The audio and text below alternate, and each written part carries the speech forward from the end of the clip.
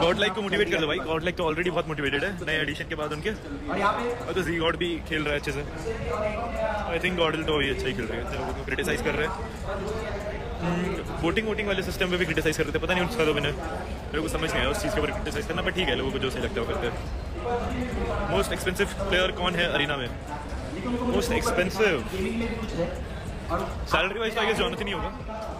Obviously Jonathan ही है और कौन ही है?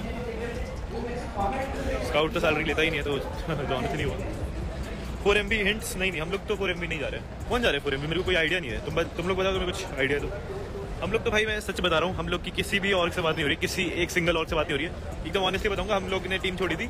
हम लोग को रेवेनेंट ने वो किया था, पर रेवेनेंट के साथ कुछ तो हुआ इश्यूज़ तो उन लोगों ने सेंसे का को लिया। और हम लोग को ने स्टे करने दिया अपने बूट कैंप पर फॉर द टाइमिंग और फिर हम क्वालिफाई होने के बाद जी टी बूट कैंप रहे क्लच के साथ तो उसके लिए भी थैंक्स सब लोगों को उनमें अभी आर एन टी में सेंसे की लाइनअप है।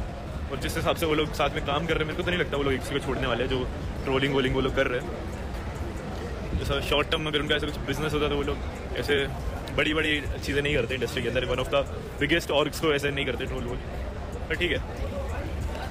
क्या पता? ये तो बहुत अनप्रिडिक्टेबल हो चुका है यार, विजय अब कभी भी किसी को निकाल दिया जाता है, कभी भी किसी को ले लिया जाता है। मॉडल वर्सेस कार्पेडियम होगा।